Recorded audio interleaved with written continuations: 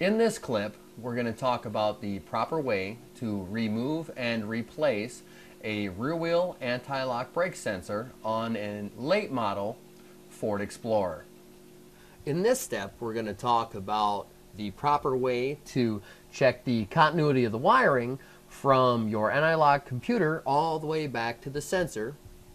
What I'm going to do is I have uh, my heavy duty test light here and just because the cable only comes in a certain length. I have hooked some jumper cables to the positive and negative side of my battery and ran them back here so I can hook up to them and get a good ground and a good positive.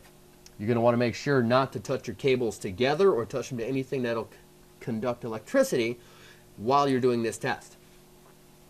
What I have here is my anti-lock brake sensor connector and it has a hot wire and a ground wire. What I'm going to do is go ahead and check continuity.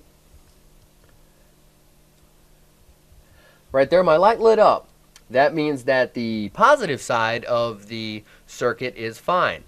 What I'm going to do now is take and switch my connectors around. I'm going to take my test light lead and hook it to the other side of my jumper cable and check the other side of the circuit.